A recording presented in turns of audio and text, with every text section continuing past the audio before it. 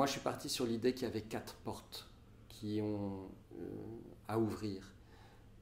Et pour ça, j'ai eu quatre auteurs qui ont ouvert ces portes. C'est Alejandro Jodorowsky, le poète.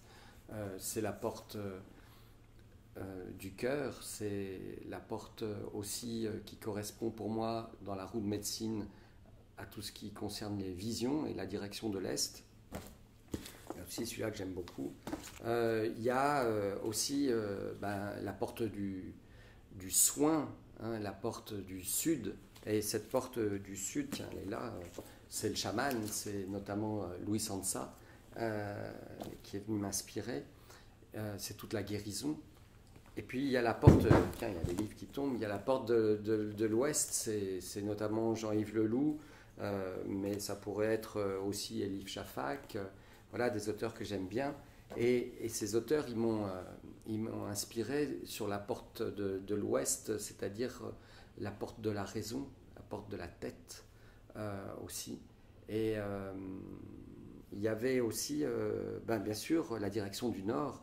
Euh, et là, euh, bah, c'est plutôt euh, voilà, tout ce qui concerne la claire-audience et, ce magnifique livre un peu complexe, hein, mais qui m'a beaucoup aidé. Enfin bon, tout ça c'est très littéraire, parce que moi dans, tout, ça, il y a quand même des chouettes images. les images, bah, bien sûr, c'est les films qui font partie de ma vie. Il y a les symboles qui m'ont beaucoup aidé aussi. Et puis, ben, quand même, mon, livre, c'est une plongée dans le corps, dans le corps humain.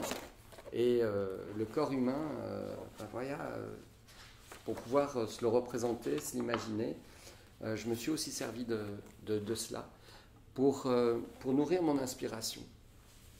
Mais il y a peut-être une chose que je dois vous dire aussi, c'est que il y a des images qui nous ont marqués. Moi, il y a un très vieux film de 68 qui m'a marqué qui s'appelait Le Voyage fantastique où c'était euh, un sous-marin réduit en taille miniature avec des chercheurs dedans qui allaient euh, détruire un virus, une maladie, et y rentrer dans le corps humain. Et ça, je l'avais vu euh, tout jeune, et ce film-là m'a beaucoup marqué, et finalement, il m'a inspiré ce roman.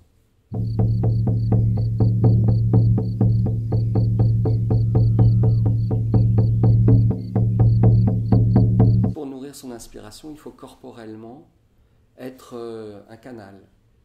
Alors euh, toutes les techniques, euh, que ce soit d'hypnose ou écouter des tambours chamaniques, qui va nous permettre finalement de nous relier aussi bien tête, cœur, corps et peut-être âme et esprit. C'est aussi ça qui va permettre à ce que l'inspiration elle vienne, parce qu'il y a quelque chose de fluide en nous. C'est aussi ce que je vous conseille de pratiquer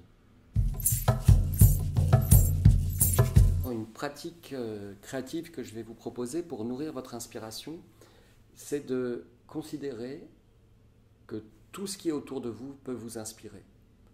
Et vous allez écrire sur une page, à la main, une fiction à partir des éléments que vous allez voir dans votre environnement, comme une écriture automatique.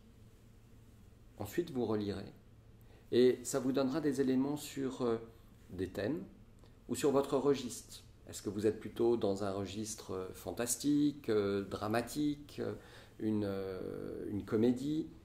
Et tout ça, ça vient par la création.